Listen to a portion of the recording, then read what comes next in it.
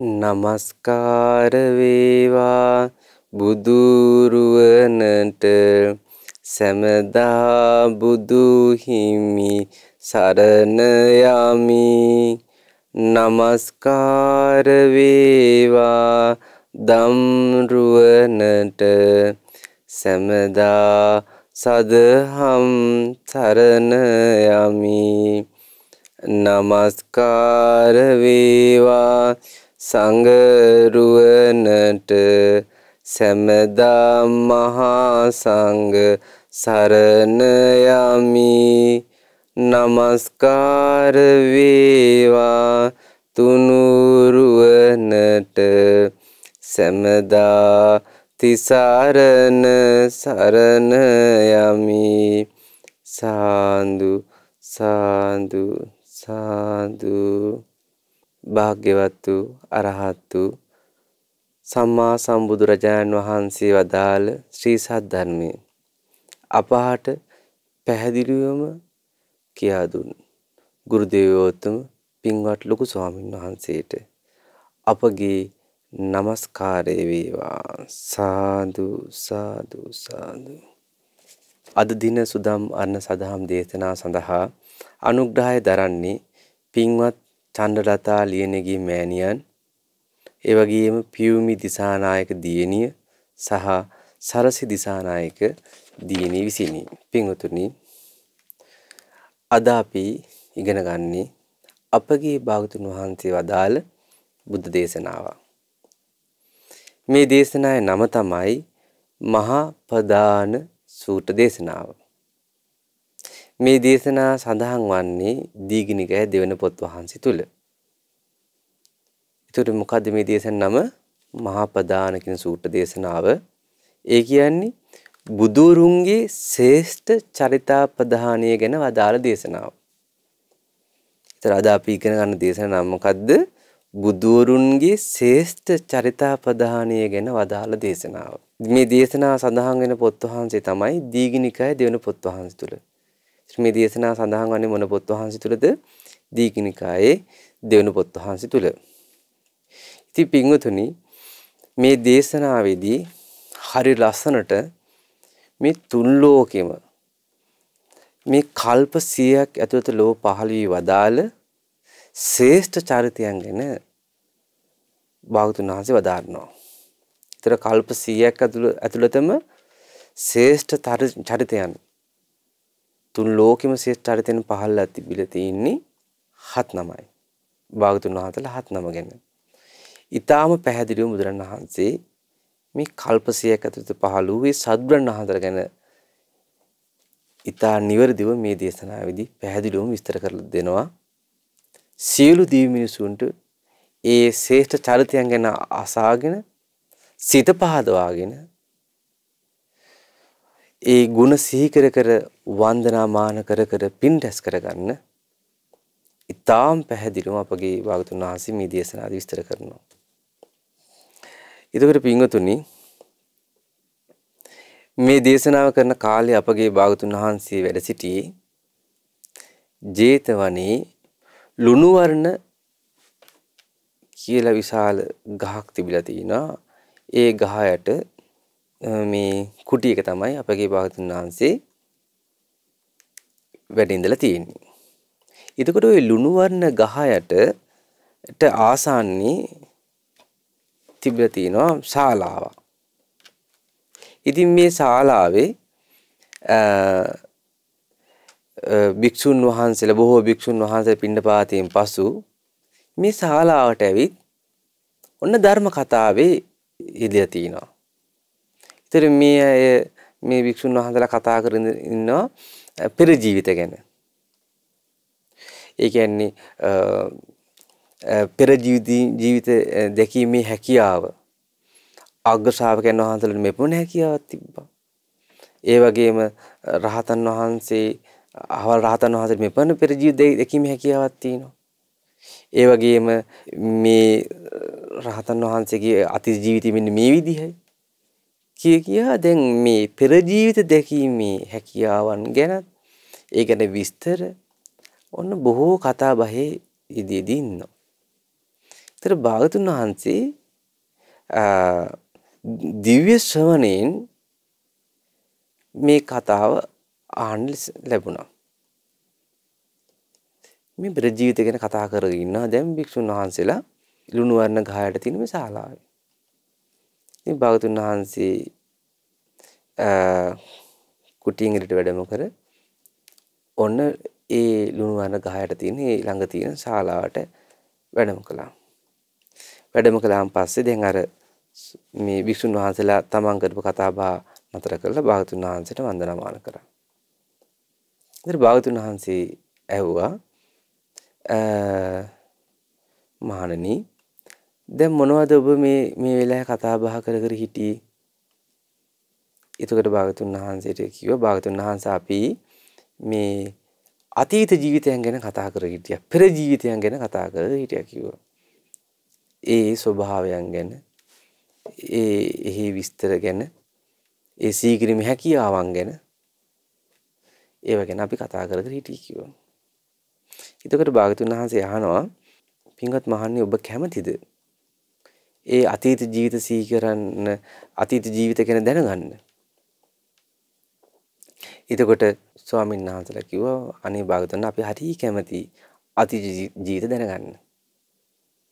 ඒ වෙලාවේ භාගතුන් වහන්සේ කල්ප 100ක් අතීතෙට සිහි කරනවා.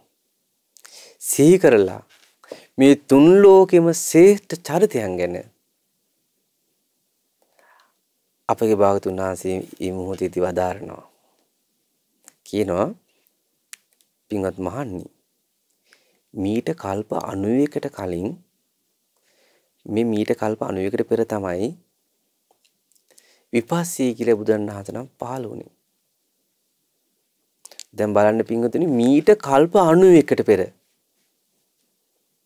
අති දීර්ඝ අතීතයක් ගැන තමයි මේ දැන් භාගතුන් වහන්සේ පෙර ජීවිත ගැන සිහි කරමින් කියන්නේ. ඒතර කල්ප 91ක් කියන්නේ අපි බලමු කල්පය කියන්නේ මොකද්ද කියලා. බුදුරණාහන්සේ එක තැනක විස්තර කරන එක දේශනාවකදී කල්පය ගැන. කොයි වගේද කියනවා නම් හැතැම්ම හතක් දිග. දිග කොච්චරක්ද? හැතැම්ම හතක්. පළල හැතැම්ම හතක්. උස හැතැම්ම හතක්. විශාල කළුගල් පර්වතයක්. මොකද්ද? විශාල කළුගල් පර්වතයක්. ඒකේ දිග කොච්චරද? දිග හැතැම්ම හතයි. පල්ල කොච්චරද? හැතැම්ම හතයි. උස කොච්චරද? හැතැම්ම හතයි. එතකොට මේ හැතැම් හතක් දිග පළල උස විශාල කළුගල් පර්වතයක් තියෙනවා. මේ කළුගල් පර්වතයට සිනුදු සේලයක් කරන්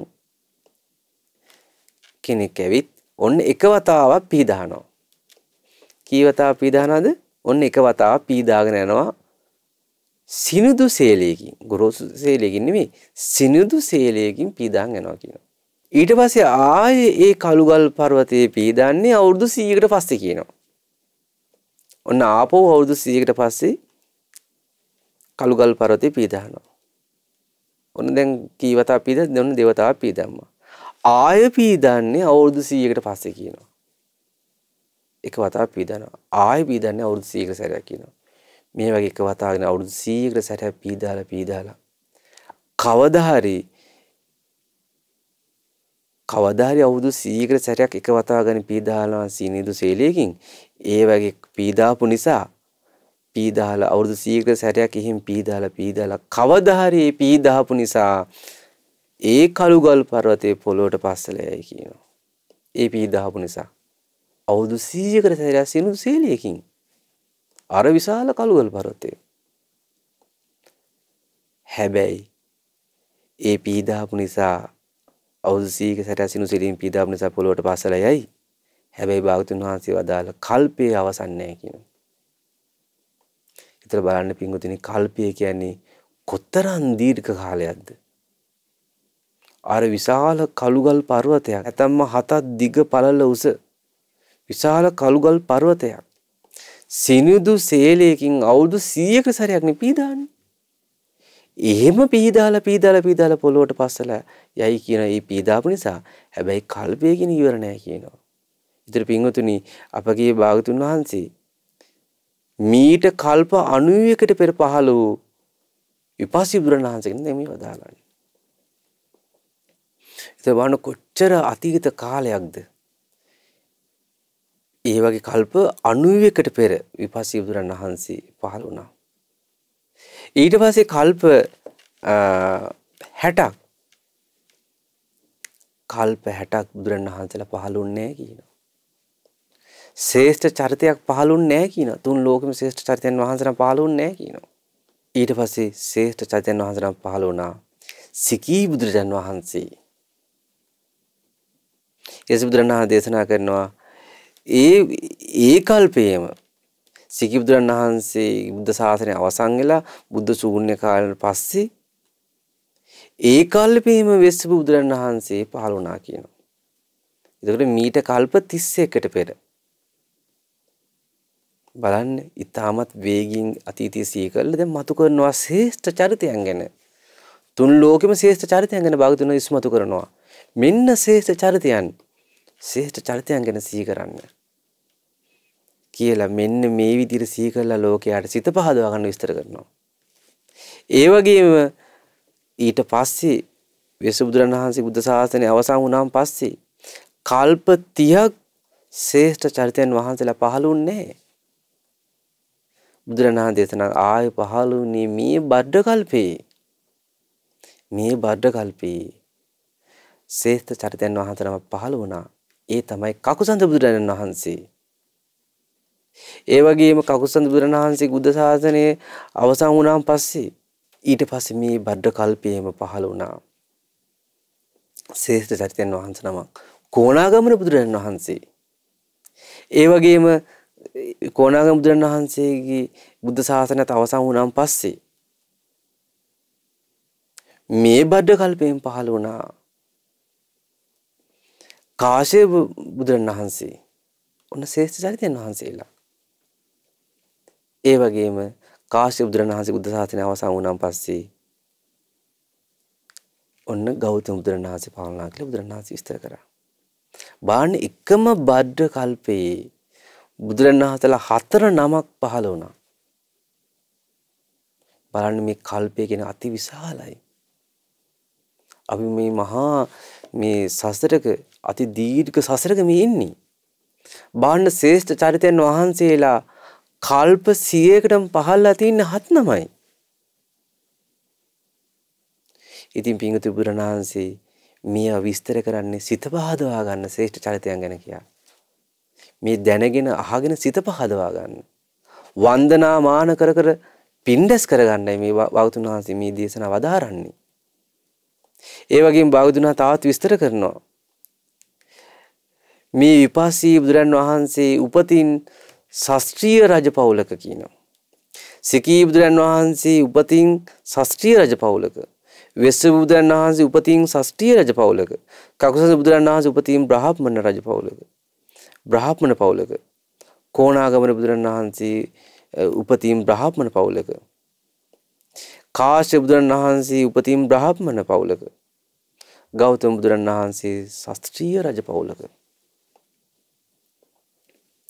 බුදුරන් වහන්සේ බලන්න මේ ඒ ඒ උත්පත්ති ලැබූ પરම්පරා ගැන විස්තර කරනවා ඉතාම පිරිසිදු පෙර ජීවිත දැකීමේ හැකියාවන් යුතු අතීත ජීවිත ගැන සිහි කරලා මේ කියන්නේ ශ්‍රේෂ්ඨ චරිතයන් ගැනයි.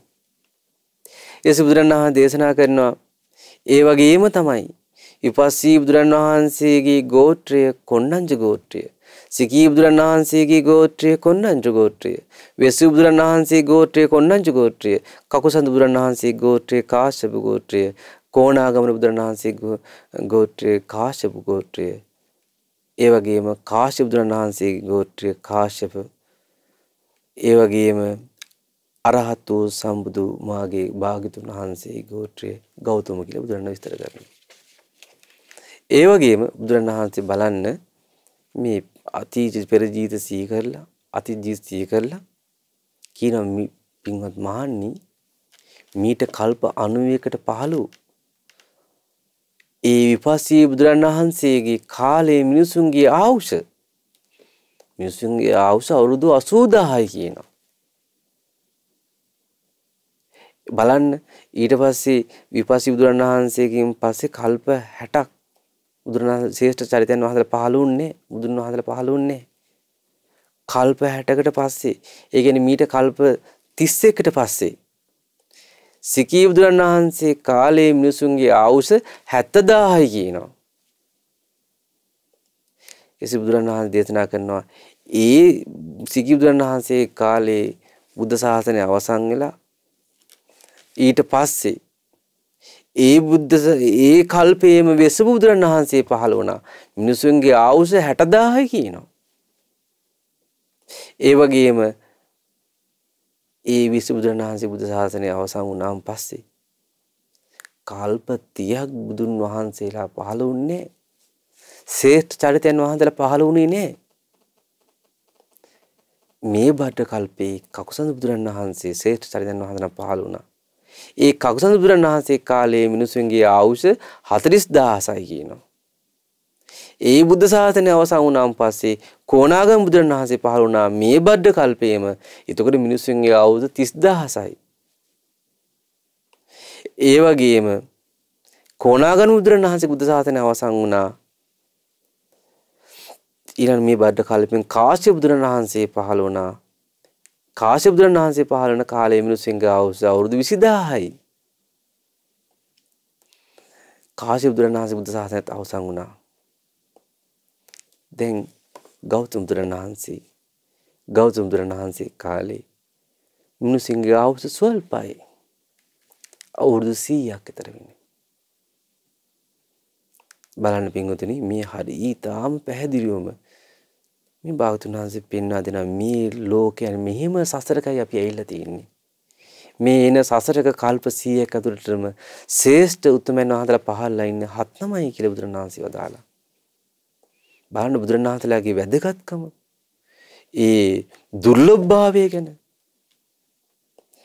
ඒ වගේම අපගේ භාගතුන් වහන්සේගේ අසීමිත පිරිසිදු හැකියාව ඉතා පිරිසිදුව වදාරනවා මෙන්න මේ ශ්‍රේෂ්ඨ චරිතයන් පද චරිතයන් ගැන සිහි කර කර පින්ඩස් කරගන්න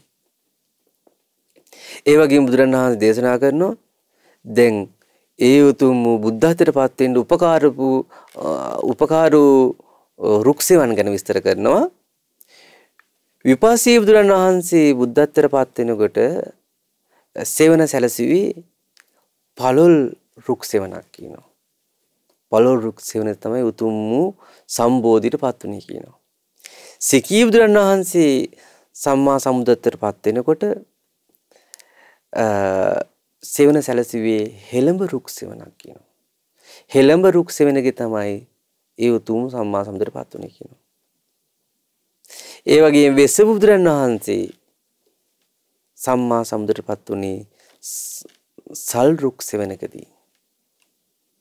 ඒ වගේම කකුසඳ බුදුරන් වහන්සේ සම්මා සම්බෝධියට පත් වුණේ මහයු රුක් සෙවණකදී. කොණාගමන බුදුරන් වහන්සේ සම්බුද්ධත්වයට පත් වුණේ සම්බෝධියට පත් වුණේ දිමුල් රුක් සෙවණකදී. කාශ්‍යප බුදුරන් වහන්සේ ඒ උතුම් අරහත් සම්මා සම්බුද්ධත්වයට පත් වුණේ නුගුරික් සෙවණකදී. ගෞතම බුදුරන් වහන්සේ බෝසෙවණේදී අසතු රුක් සෙවණකදී ජයසිංහ මහබෝධින් වහන්සේ තමයි සෙවණ සැරසුවේ උතුම් වූ බුද්ධත්වයට පත් වෙන්න. ඒතර බාහන භාගතුන් වහන්සේ මේ බුද්ධත්වයට පත් වෙන උපකාර වූ අවසාන මොහොතේ සෙවණ සැරසූ බෝධින් වහන්සේලා පවා ගැන විස්තර කරනවා. ඒව ගැන සිත සිත සිතා පින් රැස් කරගන්න ශ්‍රේෂ්ඨ චරිතයන් වහන්සේලා සම්බෝධියට පත් වෙන්න උපකාරකු ඒ බෝධින් වහන්සේලා ගැන සිත පහදවා ගන්න. ඒත් මේ ඇයට මහත් ආනිසංසයි. අප හැපෙන්දෙනාට.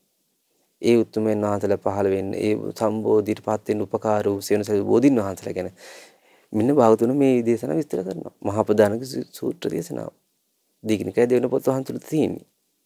ඊළඟ බුදුරණන් දේශනා කරනවා ඒ උතුම් වූ සම්මා සම්බෝධියට පත් වුණාම ඊපස්සේ බුදුරන් වහන්සේට ඛණ්ඩ තිස්ස කියලා අග්ග ශ්‍රාවක යුගලක් හිටියා කියනවා. ඒතර අග්ග ශ්‍රාවක යුගල විපස්සී බුදුරන් වහන්සේ කවුද?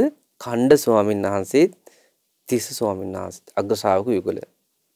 සිකී බුදුරන් වහන්සේගේ කාලේ සිකී බුදුරන් වහන්සේගේ අග්ග ශ්‍රාවක යුගල උනේ ප්‍රධානම ස්වාමීන් වහන්සේ දෙනම උනේ අභිභූ ස්වාමීන් වහන්සේ සම්භව ස්වාමීන් වහන්සේ. ඒ වගේම වෙස්සබුදුරන් වහන්සේ කාලේ ඒ විශ්වබුදුරන් වහන්සේගේ අග්‍ර ශ්‍රාවකයන් වහන්සේලා වුණේ සෝන ස්වාමීන් වහන්සේ උත්තර ස්වාමීන් වහන්සේ. ඒ වගේම කකුසඳ බුදුරන් වහන්සේ කාලේ ඒ අග්‍ර ශ්‍රාවකයන් වහන්සේලා වුණේ විදුරු ස්වාමීන් වහන්සේ. ඒ වගේම සංජීව ස්වාමීන් වහන්සේ. ඒ වගේම බුදුරන් වහන්සේ වදාරනවා කෝණාගමන බුදුරන් වහන්සේ කාලේ ඒ කෝණාගම බුදුරන් වහන්සේ අග්‍ර ශ්‍රාවකලු වුණේ බීයෝස උත්තර කියන ස්වාමීන් වහන්සේලා.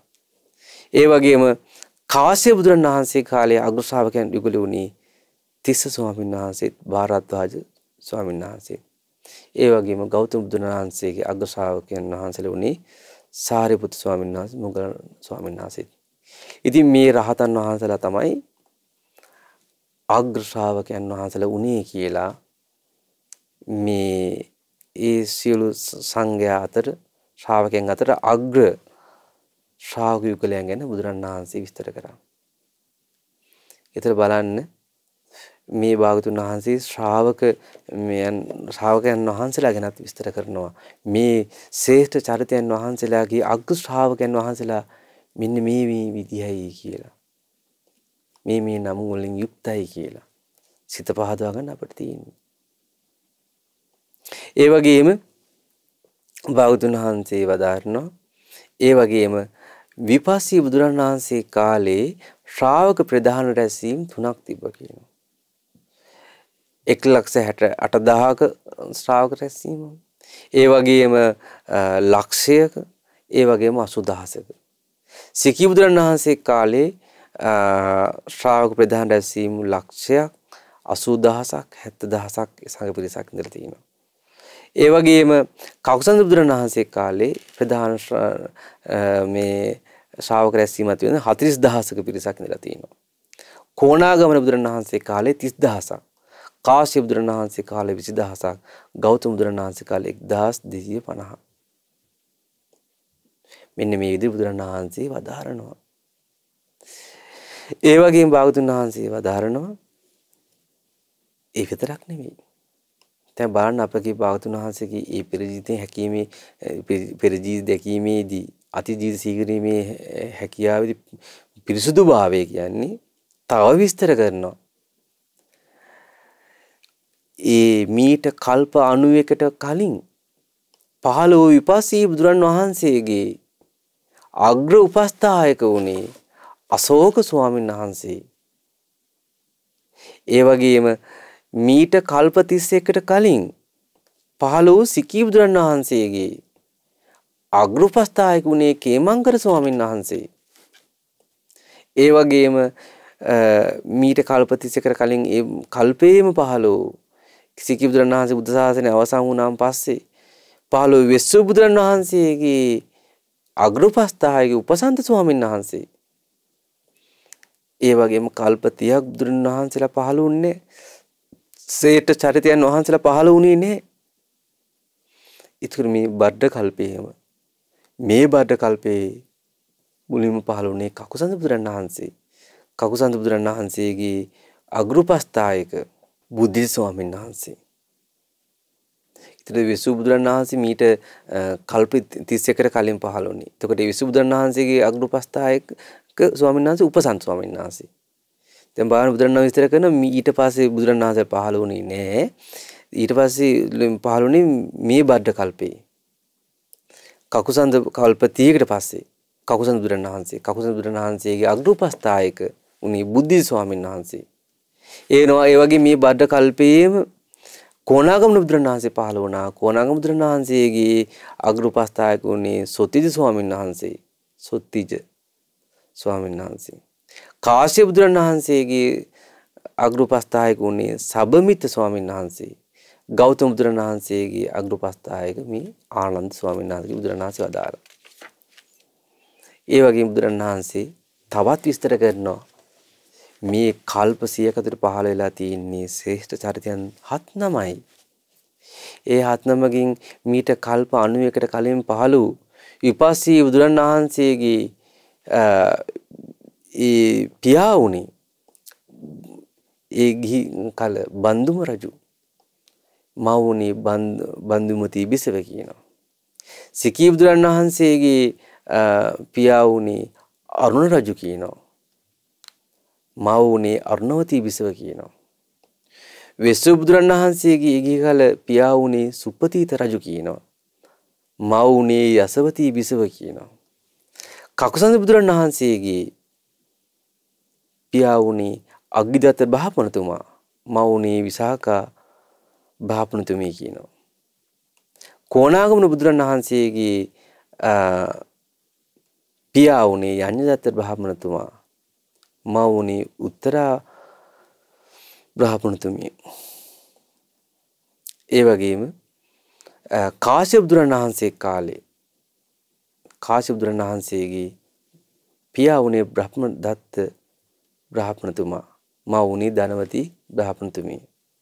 ගෞතම බුදුරන් වහන්සේගේ පියා වුණේ සුද්ධෝන් රජතුමා මව වුණේ මහාමායා දේවිය. බලන්න ඒ ඒ බුද්ධත්වයට පත් වෙන කාලේ ඒ කුඩාවදී මව සහ පියා ගැන ඊටාම පැහැදිලිව බුදුරණාහි විස්තර කරනවා.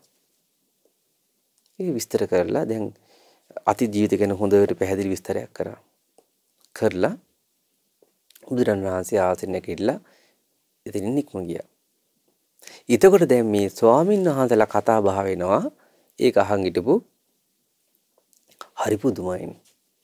අපගේ භාගතුන් වහන්සේ මීට කල්ප 100කට කලින් පහළ වූ මීට කල්ප 91කට කලින් පහළ වූ විපස්සී බුදුරන් වහන්සේ ගැන වදාළනි. සිකී බුදුරන් වහන්සේ ගැන වදාළනි. මීට කල්ප 30කට කලින් පහළ වූ ඒ වගේම විපස්සී මේ වෙස්සු බුදුරන් වහන්සේ ගැන ප්‍රකාශ කළානි. කකුසන්ත කෝණාගමන කාශ්‍යප ගෞතම. මේ කල්ප 100ක් ඇතුළතම පහළ වූ ශ්‍රේෂ්ඨ චරිතයන් ගැන අපට වදාලා ඒ වගේම ජාතීන් ගැන නම් වශයෙන් ගෝත්‍ර වශයෙන් ඒ වගේම ඒ බුද්ධ ශාසනයේ ඒ මිනිසුන්ගේ ආයු කාලය ගැන ඒ වගේම අග්‍ර ශ්‍රාවක යුගල් ගැන අග්‍ර උපස්ථායකයන් ගැන ශ්‍රාවක සන්නිපාත ප්‍රධාන රැස්වීම ගැන ශ්‍රාවක ප්‍රධාන රැස්වීම ගැන ජාතිය ගැන ගෝත්‍රය ගැන දැන් මේ ගැන හරි පැහැදිලිව විස්තර කරානේ. එතකොට මේවා කිව්වේ තතන් වහන්සේ මේ ලෝක ධර්ම ධාතුව ඊ타මනා ලෙස අවබෝධ කරගෙනද? නැත්තම් දෙවුරු ඇවිත් කිව්වත් දන්නේ දෙවුරු ඇවිත් කිව්වත් දන්නේ ඔය විදිහට පැහැදිලිව කියන්නේ. එහෙම නැත්තම් තතන් වහන්සේ තතයන් වහන්සේට මේ ධර්ම ධාතුව ඊ타මනා ලෙස අවබෝධ වී තිබෙනවාද? එහෙමද නැත්නම් දෙවුරු ඇවිල්ලා කිව්වත් දන්නේ? එතන බලන්න පින්වතුනි අපගේ බාතුන් වහන්සේගේ මේ ගැන දැන් මේ ස්වාමීන් වහන්සේ මේ විදිහට දැන් ඔන්න කතා බහ කර කර ඉන්නවා. මේ හරි පුදුමයි නම් වශයෙන් ගෝත්‍ර වශයෙන් ආයු කාලය අග්‍රශාවක යුගල් අග්‍ර උපස්ථායකයන් ගැන මේ ජාතිය ගැන ගෝත්‍ර ගැන මේ හැම දියක් ගැනම පැහැදිලි විස්තර කරා. ධර්ම ධාතුවෙන් තතයන් වහන්සේට ධර්ම ධාතුව ගැන ඊටමනා ලෙස අවබෝධයක් අවබෝධින්ද මේ කිව්වේ නැත්තම් දෙවරු කිව්වද කියලා දැන් කතා වුණා. ඉතින් භාගතුන් වහන්සේ නැවත සවස් වරුවේ භාවනාවෙන් නැගිට ලුණුවන රුක් සෙවෙනි ශාලාවට වැඩම කළා. එතකොට ඇහුවා මහන්නි දැන් මොන වගේ කතා බහකට යෙදුනේ? ඊට කිව්වා මාන භාගතුන් වහන්සේ මේ අපි මේ කල්පනා කරේ දැන් කල්ප 91කට කලින් පහළ විපස්සී බුදුරණන් වහන්සේ, සිකී බුදුරණන් වහන්සේ, වේසු බුදුරණන් වහන්සේ, කකුසන්ත කෝණාගමන කාශ්‍යප ගෞතම බුදුරණන් වහන්සේ විස්තර කරනවා. ඒතර මේක නම් වශයෙන්, ගෝත්‍ර වශයෙන් ආ ඒ කාලේ ආයුෂ කොහමද ඊළඟට මේ අග්‍ර ශ්‍රාවක යුගල් ගැන, අග්‍ර උපස්ථාන ගැන, මව පියා ගැන කියනවා. මේක තතයන් වහන්සේට මේ ධර්ම ධාතුව මේ තතයන් වහන්සේට මේ ධර්ම ධාතු ඊටා මනා ලෙස අවබෝධ වී අවබෝධ වෙලාද මේක ප්‍රකාශ කරේ එහෙම නැත්නම් දෙවුරු ඇවිත් කිව්වද කියලා තමයි මේ කතා කරන්නේ. ඊටකට බුදුරණාහි දේශනා කරනවා මහන්නි ඔබ කැමතිද තව මේ විස්තර දැනගන්න. එහෙනම් හොඳට අහන්න. මම තව විස්තර කියා දෙන්නම්. ඊටර බුදුරණාහි දේශනා කරනවා මීට කල්ප 91කට කලින් විපස්සී බුදුරජාන් වහන්සේ පහළ වුණා. දැන් ඒක අංග සම්පූර්ණ මේ තථාගතයන් වහන්සේ විස්තර කරන බුදුරන් වහන්සේ නම කියන්නේ කවුද කියන එකත් මෙන් අඳුර ගන්න පුළුවන්. මේ අතීත ජීවිත සිහි කරනකොට පිරිසුදු අන් අයට වඩා ඊටා මනාලෙස පිරිසුදු සිහි කිරීමේ හැකියාවත් මේකෙන් ඉස්මතු වෙනවා. ඒ වගේම මේ කල්ප 100ක් ඇතුළත ලෝ පහළ වූ ශේෂ චරිතයන් වහන්සේ ගැන ඊටාම පැහැදිලිවම මේ ලෝකයට කියා දෙනවා. කියනවා පින්වත් මහන්නි මීට කල්ප 91කට කලින් ඊපස්සේ බුදුරන් වහන්සේ පහළ වුණා. උපතින් ශාස්ත්‍රීය වංශී ගෝ උපතින් ශාස්ත්‍රීය වංශයේ ගෝත්‍රයේ කොණ්ණංජ. ආයු කාලය 80000යි මිනිසුන්ගේ. ඊළඟට ඊපස්සේ බුදුරන් වහන්සේගේ ආයු කාලය 80000යි. ඒ පළවල් රුක්සෙවෙනි තමයි බුද්ධත්වයට පත් වුණේ. ආග්‍ර ශ්‍රාවකයෝ කණ්ඩතිස රහතන් වහන්සේලා. ප්‍රධාන ශ්‍රාවක රැස්වීම් තුනක් තිබ්බා. 168000යි ලක්ෂය 80000ක ප්‍රධාන රැස්වීම්. ඒ වගේම අග්‍රෝපස්ථායක උනේ අග්සෝක ස්වාමීන් වහන්සේ පියා උනේ බන්දුම රජු මව උනේ බන්දුමති බිසව ප්‍රධාන නගරය තමයි බන්දුපති නගරය. ඉතින් කියනවා මහණනි මේ මනුලොවට ඒ මේ ශ්‍රේෂ්ඨ චරිතයන් වහන්සේ මනුලොවට ආවේ තුසිත කියන දිව්‍ය ලෝකේ ඉඳන් කියනවා. එතකොට මේ තුන් ලෝකෙම ශ්‍රේෂ්ඨ තරයන් වහන්සේලා මනුස්ස ලෝකෙට එන්නේ තුසිත කියන දිව්‍ය ලෝකේ ඉඳන්. දැන් කල්ප 100ක් ඇතුළු පහලා තියෙන ශ්‍රේෂ්ඨ තරයන් වහන්සේලා හත් නමයිනේ. මේ හත් නමම මනුස්සල එන්නේ කොහෙන්ද එතකොට? තුසිත කියන දිව්‍ය ලෝකේ ඉඳන්. සිත පහදා ගන්න අපගේ ශ්‍රේෂ්ඨ තරයන් වහන්සේලා ගැන. ඒකයි භාගතුන් වහන්සේ මේ දේශන ඉස්මතු කරන්නේ. ශ්‍රේෂ්ඨ චරිතන් වහන්සේලාගේ ස්වභාවය ගැන. ඉතින් සිහිනුවණින් යුතුව මව් කුසේ පිණිසට ගන්නවා කියනවා. තුසිත දිව්‍ය ලෝකයෙන් නික්මිලා සිහිනුවණින් යුතුව මේ මනුස්ස ලෝකේ මව් කුසක පිණිසට ගන්නවා. මව් කුසක පිණිසට ගත්ත ගාම බුදුරණවහන්සේ දේශනා කරනවා අප්‍රමාණ ආලෝකයක් පහළ වුණා කියනවා. හිරු සඳු එළිය පරදවා හිරුයි සඳුයි එළියේ වැටෙන්නේ නැති නිරය ඒ වගේම දසදහසක් ලෝක ධාතුවටම මේ ආලෝකෙ පැතිරෙනවා කියනවා. දසදහසක් ලෝක ධාතුවම කම්පා වෙනවා කියනවා. ඒ තරම් මේ අප්‍රමාණ ආලෝකයක් පහළ වෙනවා කියනවා. ඒ තුන් ලෝකෙම ශ්‍රේෂ්ඨ චරිතයන් වහන්සේ වන විපාසී බුදුරන් වහන්සේ තුසිත දෙවියන් අතරින් නික්මී මව් කුසේ පිළිසිඳ ගන්නකොට මට කල්ප 91කට කලින් වෙච්ච සිද්ධියක් මේ භාගතුන විස්තර කරන්න මේ. ඊට පස්සේ කියනවා සතරවන් රජවරු හතර දෙනා සිව් දිසාවේ ආරක්ෂිත ආරක්ෂාවට ඉන්න සතරන් රජුරු හතර දෙනෙක් ඉන්නවා මේ මනුලොව. ඒ මේ සතරන් රජුරු හතර දෙනා ඉන්නේ චාතු මහරජකින් දිව්‍ය ලෝකේ. චාතු මහරජ දිව්‍ය ලෝකේ මේ මනුස්ස ලෝකේ උතුර දකුණ නැගෙනහිර බටහිර මේ දිසා හතරට අධිග්‍රහිත දෙවරු හතර දෙනෙක් ඉන්නවා.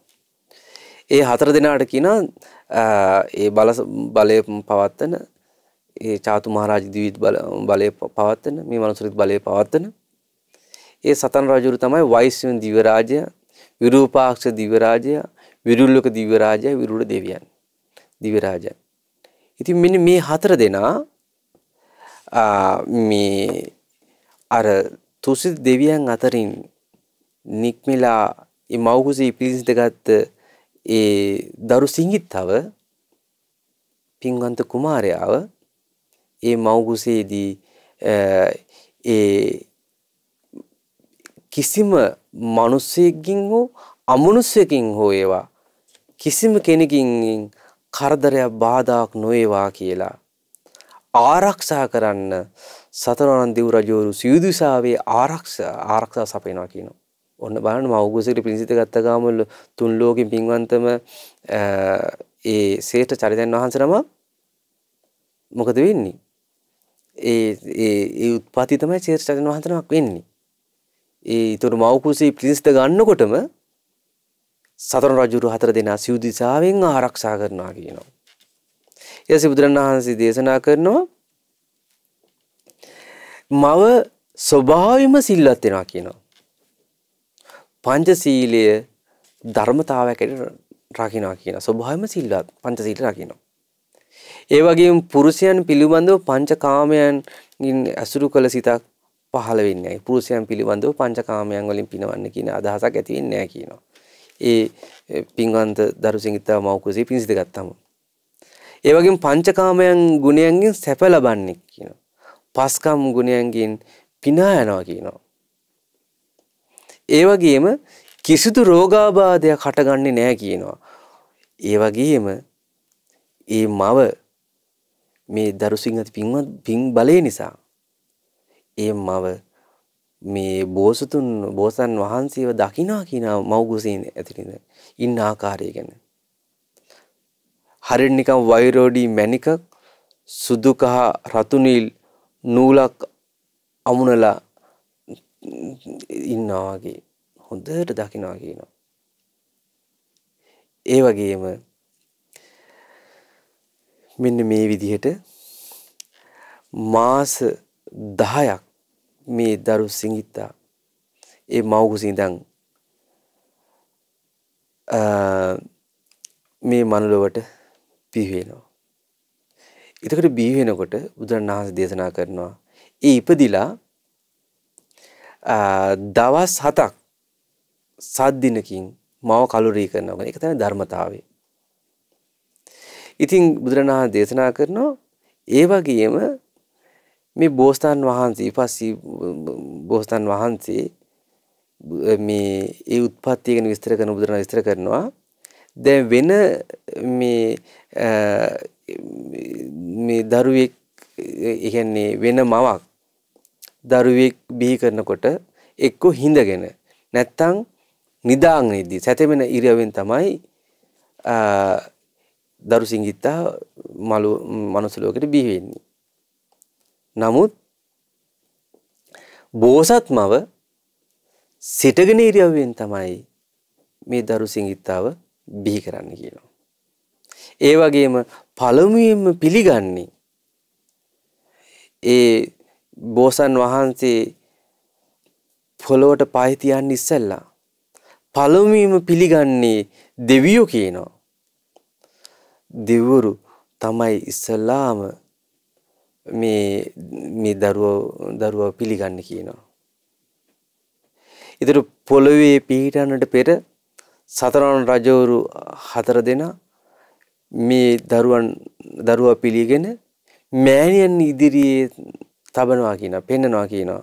දේවිය සිත සතුටු කරගන්න මේ මහේසාක්‍ය දරුසිකිත්තෙක් මේ තුන් ලෝකෙම වූ අග්‍ර වූ පින්වන්ත උත්පත්තියමි සිත සතුරු කරගන්න කියලා සතන් රජු දෙනා හතර දෙනා ප්‍රකාශ කරනවා. ඊට පස්සේ බුදුරන් වහන්සේ දේශනා කරනවා පිරිසිදුව තමයි බිහි වෙන්නේ කියන මේ දරුසිඟිත්තා. දියෙන්, සෙමෙන්, රුධිරයෙන්, අසුචි වලින් ගෑවිලා නැහැ කියනවා. වෙන දරුවෙක් කෙනෙකුට එන්නේ අසුචි ගෑවිලා, සෙම ගෑවිලා, දිය ගෑවිලා, රුධිරය එකේ අසුචි තැවිල්ල එහෙම. හැබැයි බෝසත්නාථ නමක් මව්කුසින් පිට ගන්නකොට ඒ කිසි දෙයක් ඇවිල්ලා නැහැ කියනවා. සිත පහදවා ගන්න අපගේ බෝසන් වහන්සේලාගේ පුණ්‍ය ශක්තිය විශේෂ කෙනෙක් බව. ඒ වගේම බුදුරණවහන්සේ දේශනා කරනවා. අහසින් දිය දහරා දෙකක් අහසින් පහළ වෙනවා කියන්නේ දිය දහරා දෙකක්. එකක් සිසිල් දිය දහරක් අනිත් එක උණුසුම් දිය දහරක්. මෙන්න මේ විදි දිය දහරවල් දෙකකින් මේ කුඩ බෝසතාන් වහන්සේවයි මාවයි හොඳට නාවනවා කියනවා. හොඳට පිරිසුදු කරනවා කියනවා. ඊට පස්සේ මේ දරු සිඟිත්තා මේ බෝසතාන් වහන්සේ උතුරු දෙසට මූණලා පීවර හතක් ගමන් කරනවා. පීවර හතක් ගමන් කළා හාත්පස බලනවා කියනවා. බලලා මෙන්න මීඩ ප්‍රකාශයක් කරනවා. මම ලොවට අග්‍ර වෙමි. මම ලොවට ජේෂ්ඨ වෙමි. මම ලොවට ශ්‍රේෂ්ඨ වෙමි. මේ අවසාන ඉපදීමයි. දැන් නැවත භවයක් නැත්තේය. කියලා බුදුරණා මේ ශ්‍රේෂ්ඨ බෝසතන් වහන්සේ ලෝකයාට ප්‍රකාශ කරනවා. ඒ ඉපදුන අවස්ථාවේ පියවර හතක් ගින් මෙන්න මේ විදියට. මම ලෝට අග්‍ර වෙනවා. මම ලෝට ජේෂ්ඨ වෙනවා. මම ලෝට ශ්‍රේෂ්ඨ වෙනවා. මම ලොවට මෙම ලෝට ශ්‍රේෂ්ඨ වෙනවා. ඒ වගේ මෙම මේ අවසාන ඉපදීමයි. දැන් නැවත භවයක් නැත්තේ කියා ප්‍රකාශ කරනවා. එතකොට ඉපදෙනකොටත් විශාල ආලෝකයක් පහළ වෙනවා කියනවා. ඒ වගේම බන්දුම රජු බ්‍රාහ්මණයාගෙන් අහනවා රැස් කරලා. ඊට පස්සේ මෙන්න ඉපදුනාන් පස්සේ මේ පුතාගේ විස්තර කියන්න මොනවද දේහ ලක්ෂණ? එතකොට මේ බ්‍රහ්මණයන් බලනවා මේ දරු සිංගිත දිහා බලනකොට දෙතිස්මා පුරුෂ ලක්ෂණයන් තියෙනවා ඒතර දිසිස් මා පුරුෂ ලක්ෂණයන් බල බලා කියනවා රජතුමුනි මේ දිසිස් මා පුරුෂ ලක්ෂණයන් තියෙන මේ දරු සිංහිත්තා ගිහි ජීවිතයේ හිටියොත් සක්විති රජ හැබැයි ගෘහ වහසේ අතහැරියොත් ගිහි ජීවිතය අතහැරියොත් අතහැරියොත් පැවිදි වුණොත් තුන් ලෝකෙම තුන් ලෝකෙම දිරු අග්‍රජු බුදු බුදුරජාණන් වහන්සේ නමක් බවට පත් වෙනවා මෝහය ඉවත් කොට සම්මා සම්බුදු බවට පත් වෙනවා. මේ දිස් මහා පුරුෂ ලක්ෂණයෙන් යුතු මේ සිඟිතා තරුණ අවදිරේල ගිහි ජීවිතය අතහැරියෝ. ඉතින් මෙන්න මේ විදිහට දිස් මහා පුරුෂ ලක්ෂණ ගැන විස්තර කරනවා. ඊට පස්සේ බුදුරන් වහන්සේ තව විස්තර කරනවා මේ විපස්සී කුමරු කියන්නේ හරි මේ විපස්සී බුදුරණාහන්සේ කුඩා අවදීදී කුමාර කාලයේදී ගිහිගේ නික්වෙන්න කලින් ස්වභාවය ගැන කියන තව. මේ හරි ප්‍රියමනාපයි කියනවා. හරි නිකම් මහ නිල් මල් රතු නිල් මල් සුදු නිල් බොහෝ අයට ප්‍රියමනාපයිනේ. ඒ වගේ හරි ප්‍රියයි කියන විපස්සී කුමරු අන් අයට. කටහඬත් හරි මිහිරි කියනවා. බලන්න අපගේ භාගතුන් වහන්සේ මීට කල්ප 91කට කලින් පාළු ශ්‍රේෂ්ඨ චරිතයන් වහන්සේලා ගැන විස්තර කරන්නේ. සිත පහදවා ගන්න අපිට. පින්ඩස් කරගන්න. මේ මිසේත් චරිතයන් වහන්සේලාගේ ස්වභාවය ගැන. ඒ වගේම රෑ දවල් යොදුනක් රෑ දවල් යොදුනක් දුරට පියවේ ඇසින් දකින්න පුළුවන් කෙනා. රාත්‍රී කාලෙත් යොදුනක් දුරට රාත්‍රී කාලෙත් මේ හොඳට දකින්න පුළුවන් කියනවා. යොදුනක් දුරට ඇසපිය ඒ වගේම මේ ඇස් පිල්ලම් ගහන්නේ කියනවා. තව සිත දෙවියන් වගේ. ඒ වගේ බුදුරණාහි දේශනා කරනවා. ඒ වගේම හරි තීක්ෂණ නුවණ කුඩා අවදී තිබා කියනවා. විනිච්ඡ සභාවට ගියාම රජතුමාගේ ඇඟේ මේ මේ ඔඩොක් ඉඳගෙන විපස්සී කුමාරයා ප්‍රශ්න විසඳනවා කියනවා කුඩා අවදීදීම. ඒ තරම් තීක්ෂණ නුවණක් තිබ්බා කියනවා. මාලිගා තුනක් තිබ්බා කියනවා. වැසි කාලේට එක මාලිගාවක්, සීත කාලේට එක මාලිගාවක්, ගිම්මාන කාලේට එක මාලිගාවක්. මෙන්න මේ විදිහට වැසි කාලේ පුරුෂයන් රහිත වූ ස්ත්‍රීන් විසින් පවතන ලද තූර්ය වාදනය උපස්ථාන කරමින් අධික සැපයක් ලැබුණා කියනවා මේ විපස්සී කුමාරයාට. වසර දහස් ගණනකට පසු මෙහෙම සැප ලබ ලබා ඉද්දී අශ්ව රථය සූදානම් කරන කෙනාට කියනවා රථාචාර්යනි අපියන් ටිකක් මේ උද්‍යාන බලන්න කියලා ඔන්න ඒක ලෑස්ති කර රථේ ලෑස්ති කරන්න කියනවා. ඉතින් ඔන්න රථාචාර්යා රථේ ලෑස්ති කරලා අශ්ව රථේ ලෑස්ති කරලා කියනවා රජතුමනි යන් කුමාරයන් ඊපස්සේ කුමාරයා අපි යන් උද්‍යාන බලන්න. මෙන්න මෙහෙම යනකොට අපගේ බවතුන් වහන්සේ වදාරනවා මෙන්න දකිනවා විපස්සී කුමාරයා කුදු ගැහිච්ච මූණ රැලි වැටිච්ච කොණ්ඩි ඉදිලා ගිය වෙවුලමින් ඇවිද ඇවිද යන සැරයටියකින් ඇවිද ඇවිද යන මහලු කෙනෙක් එක පාට අහනවා කතාචාර්ය අර කවුද ඊතර කියනවා මේ මේ මූණේ රළි වැටලා තියෙන, ඇඟේ රැඩි වැටලා තියෙන, කුදු ගැහිලා තියෙන, වෙවිල වෙවිල ඇවිද ගන්න බැරුව අමාරුවෙන් ඇවිද ඇවිද යන. මේ ඇයිට කියන්නේ ජරාවටපත් වෙච්ච අය කියලා. මහලු බවට පත්වෙච්ච අය කියලා. ඊතර කල්පනා කරා එහෙනම් මමත් මහලු බවට පත් වෙනවද? ඔව් කිව්වා. එහෙනම් මට මේ අද ගමන යන්න ඕනේ. ඔන්න ඒ ගමන වෙලා යන්න බෑ කියලා ඔන්න රජමාල් වෙලා කල්පනා කරා. අයියෝ අපිත් මෙහෙම හිටියට වයසට යනවද? මහලු වෙනවද? ජරාටපත් වෙනවද? ඉතින් මේ වෙනස දැක්ක රජතුමා අහනවා රතතයි මොකද වුනේ? බඳු රජු අහනවා රීදුරාගෙන්. අනේ රජතුමනි අපි යනකොට වයසක කෙනෙක් ජරාටපත් වෙච්ච කෙනෙක් දැක්කා. මගෙන් විස්තර ඇහුවා. මං විස්තර කියා දෙනකොට උයන් සිරින රමන්න ඕනේ නෑ.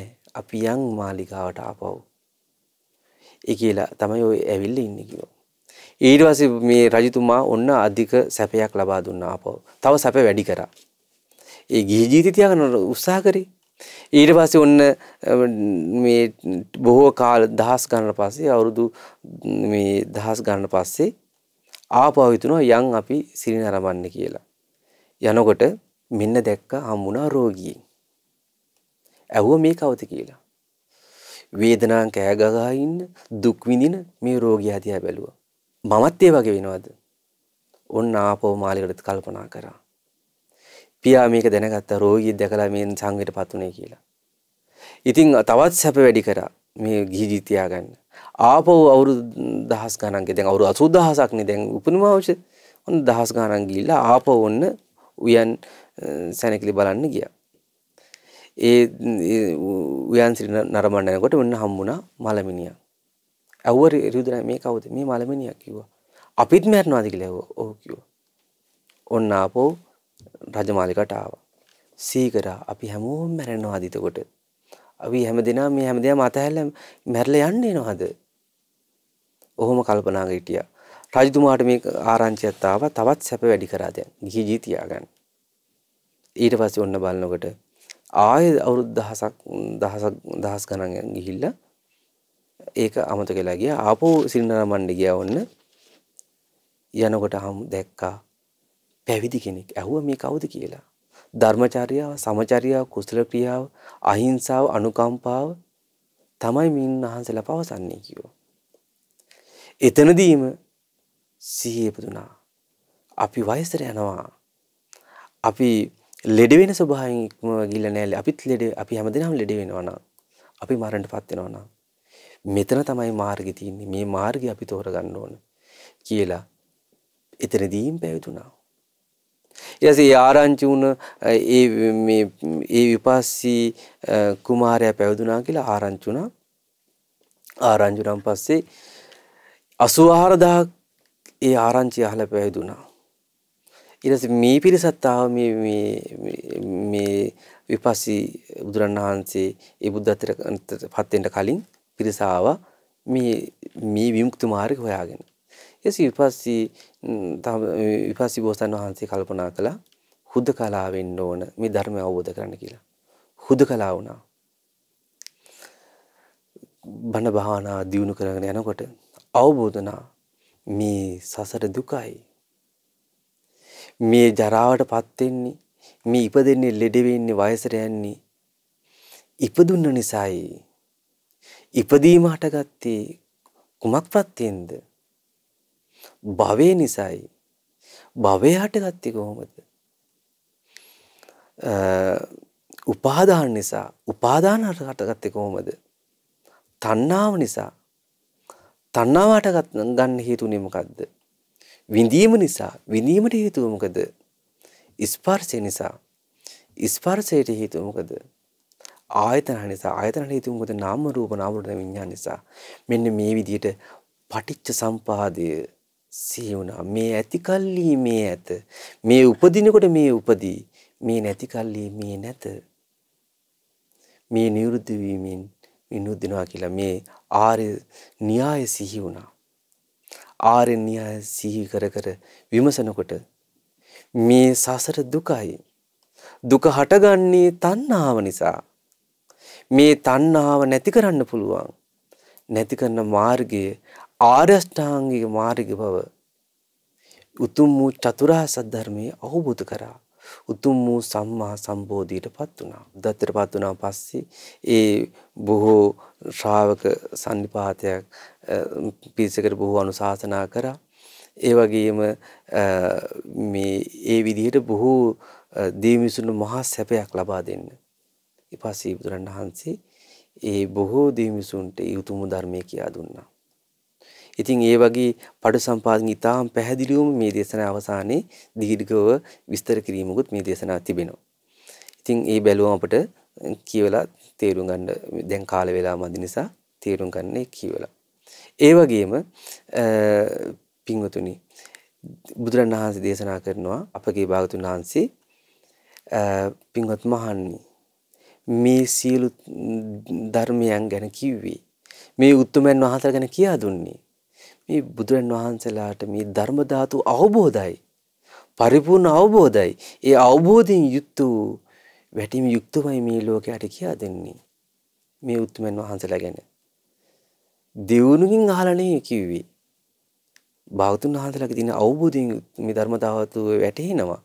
ඒ ධර්ම ධාතු අවබෝධ කරගෙන මේ ලෝකයට කියා දුන්නේ කිව්වා. මහණෙනි හැබැයි මෙහෙම දෙයක් තියෙනවා.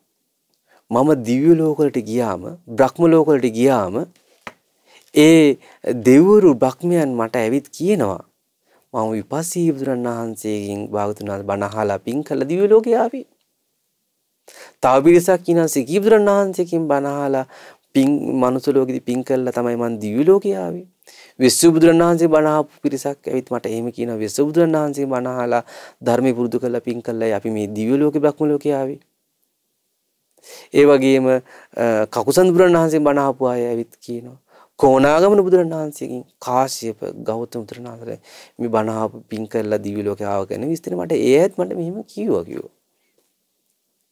එතකොට පින්වතුනි අදත් කල්ප 100ක් ඇතුළත ලෝ පහළ වූ ඒ උතුමන් වහන්සේලා බණහලා පින්ඩස් කරලා ඒ බුදුරන් වහන්සේලාගෙන් බණාව පින්ඩස් කරපු පින්ඩස් කරලා දෙවියන් අතර බ්‍රහ්මයන් අතර අදත් පිරිස ඉන්නවා දෙවියන් බ්‍රහ්මයන් ඒ කල්පසියක් ඇතුළත ලෝ පහළ බුදුරණාහන්සේලා බණ ආපු පිරිස්. ඒ අය කරන වන්දනාව තමයි සද්බුදු වන්දනාව. දිව්‍ය ලෝකේ බ්‍රහ්ම ලෝකේ. ඇයි ඉතින් කලින් බුදුරණාහන්සේලා බණ ආපු අය බොහෝ පිරිසක් ඉන්නවනේ. ඉතින් මේ අය කරන්නේ කල්ප 100ක් ඇතුළත ලෝ පහළ බුදුරණාහන්සේලා සිහි කරගෙන තමයි සම්බුද්ධ වන්දනාවල් තියන්නේ. ඉතින් පින්වතුනි අපටත් පුළුවන් එවන් වූ විශාල පින්කමක් gederති කරගන්න. ඒ වගේ මේ සද්බුදු වන්දනා කියන මහානුභාව සම්පන්නයි. සතරාන් රජවරු හතර දෙනා මනුස්ස ලෝකයට ඇවිත් භාගතුන් වහන්සේට වන්දනා කරලා කියනවා මේ මිනිස්යන්ගේ පෙරනොපෙන කරදර බාධක තියෙනවා. ඒවා දුරු වෙන්න අපි පිරිතක් සජ්ජායනා කරන්න මේක මහානුභාව සම්පන්නයි භාගතුන් වහන්සේ කියලා සද්බුදු වන්දනාව වදාල්ලා තමයි ආටනාටි විස්තර කරේ. ඒ කියන්නේ මේ සදුදු වන්දනාව කියන්නේ පෙන්න නොපෙන්න කරදර බාධක දුර වෙලා බොහෝ සැප උපදින වන්දනාවක්. අපිට පුළුවන් මේක gediridhi කරගන්න. බුදුරණවහන්සේ නමකට උපස්ථාන දම්පැන් පූජා කරනවා කියන්නේ පසේ බුදුන් වහන්සේලා සිය නමකට දන් දෙනට රාණසංසයි නම් අපි බුදුරණවහන්සේලා හත් නමක් සිහි කරගෙන උදෑසන නැගිටලා බුදුරණවහන්සේ විපස්සී බුදුරණවහන්සේට පැන්න එකක් පූජා වේවා. සිකි බුදුරණාතර පැන්න එක පූජා වේවා. වෙස්සි බුදුරණාතර පැන්න එක පූජා වේවා. කකුසන්ත කෝණාගමන කාශ්‍යප ගෞතම කියන මේ බුදුරණාලා හත් නම සීකරගෙන කල්ප 100ක් ඇතුළත පහළ වූ ශ්‍රේෂ්ඨ උත්තමයන් වහන්සේ සීකරගෙන පෑන් පූජා කරගත්තොත් මහා පිනක් බලයක් ආශිර්වාදයක් ලැබෙනවා. පසී බුදුරු 700 නමකට දන් දෙනට රාණසංසයි. සමහර අය ඉන්න උදෑසන උදෑස් උදෑසන කාලයක බුදුරණාහි හත් නමටම කිරිගිලන් පස පූජා කළ පින් රැස් කරගන්න අය. සමහරට පුළුවන් අපිට බුදුරණාහි හත් නමට මල් පූජා කළ පින් කරගන්න. පහන් ආලෝක පූජා කළ පින් කරගන්න. සමහර අය ඉන්නවා අනේ මේ මේ කල්ප 100ක් ඇතුළත පහළ උත්මයන් වහන්සේලා අපට වදාළේ භාගතුන් වහන්සේමයි. අපට පින් කරගන්නයි, සිත පහදවා ගන්නයි. ඔන්න සමහර අය ඉන්නවා සතික සැරයක් මහා සැරයක් කිරිබත් කෑලි දෙක තුන හදා හදා විපස්සී බුදුරන් වහන්සේට පූජා වේවා කියලා ඔන්න පූජා කරනවා. තවත් කිරිබෑලි කිරිබත් කෑලි දෙක තුනක් තියලා සිකි බුදුරණාහට පූජා වෙස්ස බුදුරණාහ මේ වගේ බුදුරණලා හත්තමන පූජා කරන අය ඉන්නවා. දාන පූජා කරනවා. ඇයි මේ බුදුරණ මේ කල්ප 100ක් ඇතුළේ ලෝ පහළ උතුමන් වහන්සලා අදත් සිහි කළා අදත් අපේ පින බලවත් කරගන්න ආරක්ෂාව රැකවරණේ සැපේ යහපත පින උපද්දවමින් සසුදුකි නිදහසින් උපකාරයක් වෙනවා. ඉතින් පින්වතුනි අපගේ භාගතුන් වහන්සේ ඊටාම් පැහැදිලිවම අපට මේ මහා ප්‍රධානකින් සූත්‍රදී සූත්‍ර දේශනාවේදී මේ සත්බුදු රජාන් වහන්සේලා ගැන ශ්‍රේෂ්ඨ කල්ප 100ක් ඇතුළත පහළ වූ ශ්‍රේෂ්ඨ චරිතයන් වහන්සේලා ගැන වදාහලා තිනවා. අනේ අපට මේ ශ්‍රේෂ්ඨ චරිතයන් වහන්සේලා ගැන සත්බුදුරජාණන් වහන්සේලාගෙන් සිත පහදවාගෙන බොහෝ පින්ටස් කරන තව තවත් ඒ උතුම් සසර දුකින් නිදහසෙන්න මේ බුද්ධ දේශනාව උපකාර වේවා. සාදු සාදු සාදු. අද දින සුදම් මරණ සදහම් දේශනාව සඳහා අනුග්‍රහය දරන්නේ පින්වත් චන්දලතා ලියනගේ මෑණියන් පියුම් දිසානායක දීනිය සහ සරසි දිසානායක දීනිය විසින්. ඉතින් ප්‍රධාන අරමුණ වෙලා තියෙන්නේ 2018 වසරේ ජනවාරි මාස 23 වන දින. එනම් මීට වසර 6කට පෙර මිය පරලොව ගිය දිසානායක මුදියන්සේලාගේ බර්ටි කරුණාපාල ස්වාමි පුරුෂයාටත් ඒ වගේම පියාණන්ට ඒ වගේ මීට වසර 7කට පෙර මිය පරලොව ගිය ඔසඳ රාජිත මන්සංග දිසානායක පුතුණුවන්ට සොවිරාට ඒ වගේම මීට මාස 4කට පෙර මිය පරලොව ගිය මීපගේ දමිත් පුෂ්පක පුතුණුවන්ට සොවිරාට මේ පින් අනුමෝදන් වේවා කියලා. ඉතින් අප මේ සසර පුරා යම්තා පින්දාම් කරාද අප රැස් කරන සියලු පින් සියලු දෙවියෝ මේ පින් අනුමෝදන් එත්වා සිළු බ්‍රහ්ම රාජීන් සිළු නාගීන්. ඒ වගේම අපගේ ඉෂ්ට දේවතන් වහන්සේලා සතුටින් අනුමෝදන් එත්වා. පෙන් නොපෙන හැමදෙනාම මේ පින් සතුටින් අනුමෝදන් වෙලා සියලු සැපයහපත ලබත්වා. දිව්‍ය බ්‍රහ්ම ආවුෂයේ වර්ණ සැප බල යසස තව තවත් වැඩේවා. සද්ධා සීල සුත්‍යාග ප්‍රඥා තව තවත් වැඩේවා. සුවසේම සසර දුකින් නිදහස් වෙන්න වාසනාව ලැබේවා. සාදු සාදු සාදු. ඒ වගේ විශේෂයෙන්ම මියගිය 2018 වසරේ ජනවාරි මාස 23 වන දින එනම් මීට වසර 6කට පෙර මිය පල්ලෝගී දිසානායක බුද්ධයන්සේලාගේ බර්ටි කරුණාපාල ස්වාමි පුරුෂයාට ඒ වගේම පියාණන්ට ඒ වගේම මීට වසර 7කට පෙර මිය පල්ලෝගී ඕසඳ රාජිත මල්සංග දිසානායක පුතුණුවන්ට සොවිරාට මීට මාස 4කට පෙර මිය පරලෝ ගිය මීපගේ දමිත් පුෂ්පක පුතුණුවන්ට සොවිරාට පින් අනුමෝදන් වේවා. ඒ වගේම අප හැම දෙනාම නම් මේ ගිය සින සියලු මළගේ ඥාතීන්ට මේ පින් අනුමෝදන් එත්වා. සියලු මළගේ ඥාතීන් නිදුක් නිරෝගී සුවපත් භාවයට පත් වේවා. සියලු සැපයහපත ලබත්වා. සසර දුකින් නිදහසෙන් මේ පින් උපකාර වේවා. සාදු සාදු සාදු. ඒ වගේම අපගේ ගුරු දේවතුන් පින්වත් ලොකු සානත අනුමෝදන් එත්වා. මහමුණා වාසී සියලුම පින්වත් ස්වාමීන් වහන්සේ වහන්සේලාට අනුමෝදන් එත්වා. ඒ වගේම මේ ගමේ නගරයේ පළාතේ රටේ ලෝකේ යම් තාක් මහා සංඝරත්න වැඩ සිටිනවාද මහා සංඝරත්න මේ පින් අනුමෝදන් එත්වා. අනගාരികා මෑන් වහන්සේලාට මේ පින් අනුමෝදන් එත්වා. පැවිදි අපේ සිදු පොතුන්ටත් මේ පින් අනුමෝදන් එත්වා. මේ පින් අනුමෝදන් වෙලා නිදුක් නිරෝගී සුවපත් භාවයට පත් වේවා. සියලු සැපයහපත ලබත්වා. සුවසේ සසර දුකින් නිදහස් වෙන්න වාසනාව ලැබේවා. සාදු සාදු සාදු. ඒ වගේම විශේෂයෙන්ම අද සුදම් වන සදහන් දෙස සඳහා අනුග්‍රහය දන්න පින්වත් චන්දලතා ලීනගේ මෑණියන්ටත් පියුම් දිසානායක දීනියටත් ඒ වගේම සරසි දිසානායක දීනියටත් මේ පින් අනුමෝදන් වෙත්වා ඒ වගේම දායක දරූ පින්වතුන් නමින් නන්න අනුග උපකාර කළ අය නමින් ඒ ඒ සහභාගී වූ ඒ ඥාති හිති මිත්‍රාදී හැමදෙනාට මේ පින් සතුටින් අනුමෝදන් වෙත්වා. ඒ වගේම සද්දා මාසික ධර්ම සමාජික පිරිසට මේ පින් අනුමෝදන් වෙත්වා. සද්ධා කාර්ය මණ්ඩලයේ සිළු දෙනාට මේ පින් අනුමෝදන් වෙත්වා. ඒ වගේම සිළු දෙනා මේ පින් අනුමෝදන් වෙලා හැමදෙනාම නිදුක් වේවා නිරෝගී වේවා සුවපත් වේවා. හැමදෙනාගේම ආයුෂයේ වර්ණීය සැපේ බලයේ යසස තව තවත් වැඩේවා.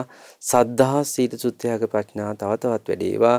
කායික මානසික පීඩා දුර වෙලා කායික මානසික සැප සැහැල්ලුවෙන් සුව පහසුවෙන් කරදර බාධක නැතුව සුවසේම දාන සීල භාවනා ටීදු පුණ්‍ය ක්‍රියා කරමින් සුවසේම සසර දුක නිදහසෙන්ටත් මේ සිරිපින් උපකාර වේවා. සාදු සාදු සියලු දිනාටම තිරුවන් සරණයි. නමුත්තාය මෙවැනි වටිනා ධර්මදේශනා ශ්‍රවණය කිරීමට ශ්‍රද්ධා ඩේලි YouTube චැනලය සබස්ක්‍රයිබ් කරන්න.